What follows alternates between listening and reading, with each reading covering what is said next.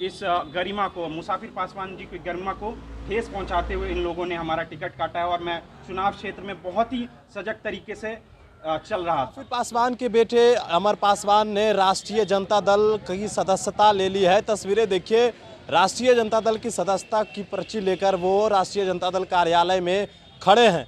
मुकेश सहनी इनको लेकर लगातार दावा ठोक रहे थे कि हमारी हम चुनाव लड़ेंगे और हमारा उम्मीदवार मुसाफिर पासवान के बेटे अमर पासवान होंगे। लेकिन देखिए, आज अमर पासवान ने वीआईपी से इस्तीफा दिया और राष्ट्रीय जनता दल का दामन भी थाम लिया और राष्ट्रीय जनता दल से वो चुनाव भी लड़ने जा रहे हैं। राष्ट्रीय जनता दल के पार्टी कार्यालय में जो है वो मुसाफिर पासवान के बेटे पहुँचे। उन्होंने कहा कि हमारे साथ छल किया गया है।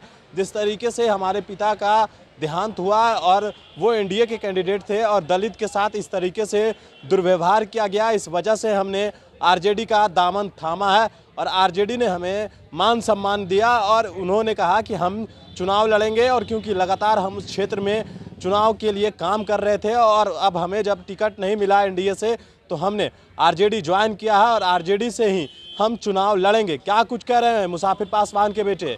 अमर पासवान सुनिए उनके बयान को। वहाँ पे था, लेकिन जैसा आपको पता होगा कि एक म्याम में दो तलवारें नहीं रहती हैं और उसी तरह वहाँ से पहली एनडीए ने अपने एक प्रत्याशी को घोषित कर दिया है और आपने देखा कि दो लोगों की लड़ाई के बीच में आज एक दलित परिवार का एक टिकट काट दिया गया और मैं ये कहना चाहूँगा कि मैं स्वतंत्र तरीके से और पुराने अपने पार्टी में दल में आके इस चुनाव को दमखम के साथ मैं जीत के अपने सौजन्य को और उनकी बाबूजी की गरिमा को बढ़ाने का काम करूँ। मुकेश सैनी की पार्टी को उम्मीद थी क्योंकि आपके पिताजी उस पार्टी से विधायक रहे थे जब वो जीवित थे उनका आशीर्वाद भी था आप पर। लेकिन उन्हें उम्मीद था कि आप उनके साथ लड़ेंगे तो क्या लगता है कहाँ बातें बिगड़ गई? क्या मुकेश सहनी ने गलत किया बीजेपी के खिलाफ होकर? आज के सत्रह तारीख को एनडीए ने नाम घोषणा की। और एक तरह से लोकतंत्र की हत्या हुई और यहाँ पे एक परिचलन चला आ रहा है भूतपूर्व से भी कि जिस पार्टी जिस पार्टी के विधायक जो कार्यकाल कार्यकाल में रहते हैं उनकी देहवासन हो जाती है।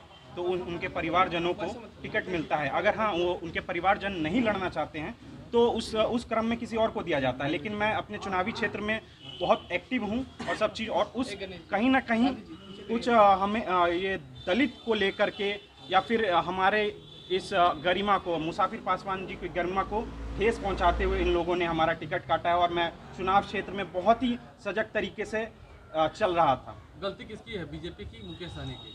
यहाँ पे उन्होंने आपसी लड़ाई में हमारा ये